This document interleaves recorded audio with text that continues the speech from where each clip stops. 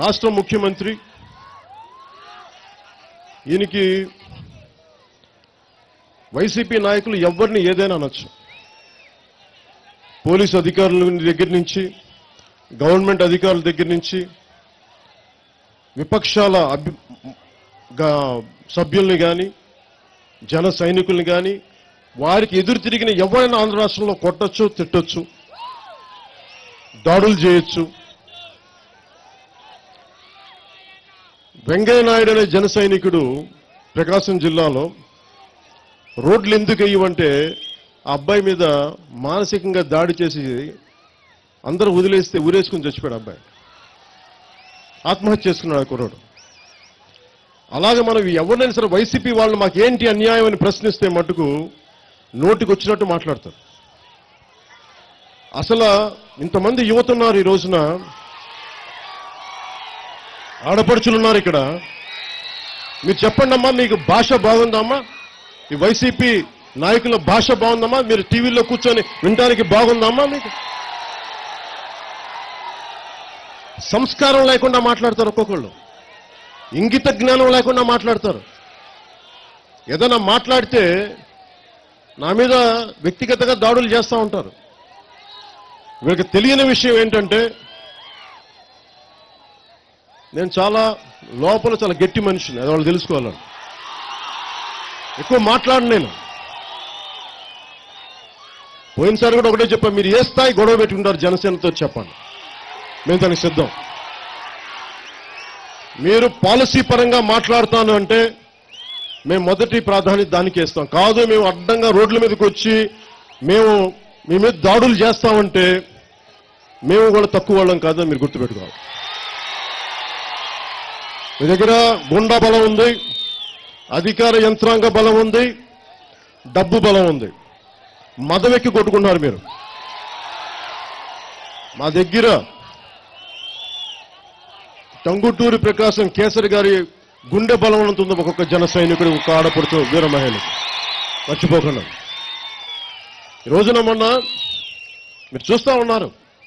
ఇదేనా సరదా షో కాదు ఇది. ఇది ఒక రియాలిటీ షో కాదు ఇది. ఇంత కష్టం ఉంది మనకు అన్నం పెట్టే రైతు. తొంభై శాతం ఈ దేశంలో ముఖ్యంగా మన ఆంధ్రప్రదేశ్లో ఎనభై తొంభై శాతం పైగా భూమంతా దున్నేది కౌలు రైతులు. ఇది అందరికీ తెలిసిన విషయం. భూ యజమాని ఎందుకు ఇస్తాడు వాళ్ళకి గుర్తింపు పత్రం? అందుకని ఒక అండర్స్టాండింగ్తో ముందుకెళ్తారు. గ్రామ సభలు పెట్టుకొని లేదంటే కొంచెం పెద్దవాళ్ళ సహకారంతో అందుకు ప్ర- గుర్తింపు పత్రాలు ఉండవు వీటికి. మేము అందరూ మీరు చూస్తా ఉన్నాం. మేము లేని సమస్యలు ఎక్కడి నుంచి చూపించగలం? ఏదైనా మాట్లాడితే ఈయన దత్తపుత్రుడు దత్తపుత్రుడు మాట్లాడుతూ ఉంటాను నన్ను. రెండు వేల మూడులో ఏదో రాజకీయాలు సరదాగా నేను రాలా. రెండు వేల మూడులో మా నాన్నగారికి మా నాన్నగారు బతికున్నప్పుడు ఆ రోజున మా అమ్మగారికి మా నాన్నగారు బతికున్నప్పుడు ఒకటే మాట చెప్పి నేను భవిష్యత్తులో రాజకీయాల్లోకి వెళ్దాం అనుకుంటున్నాను. దేనికంటే ఇది అద్భుతాలు చేస్తానని కాదు కానీ ఒక అన్యాయం జరుగుతున్నప్పుడు గొంతెత్తకపోతే మనుషులు పెట్టురేగిపోతారు అన్యాయం జరుగుతున్నప్పుడు చూస్తూ ఊరుకుంటే ఎలా ఊరుకుంటాం? అరే టంగుటూరి ప్రకాశం నేల ఇది. పొట్టి శ్రీరాముల నేల ఇది.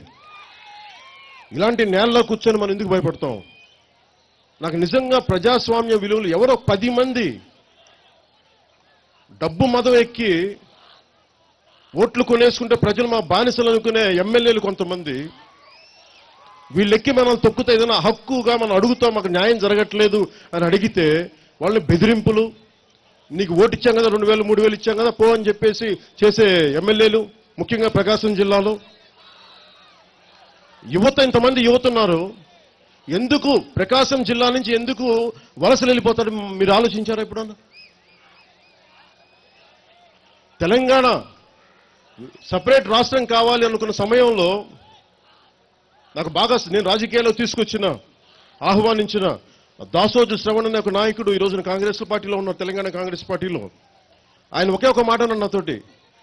రాష్ట్రం వచ్చిన తర్వాత అన్న మాకు ప్రకాశం జిల్లాకు నేను పెళ్ళికి పోయాను.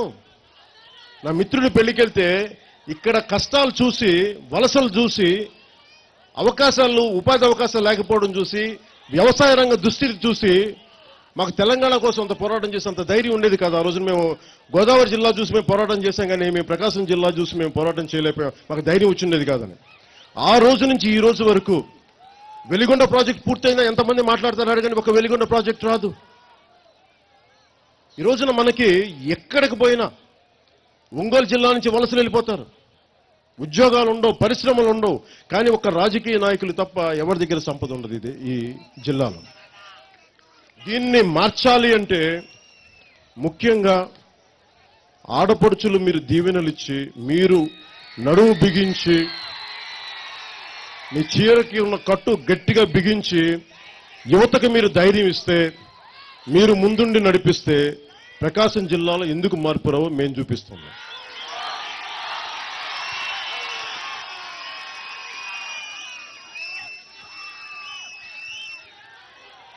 పాదయాత్రలు చేసి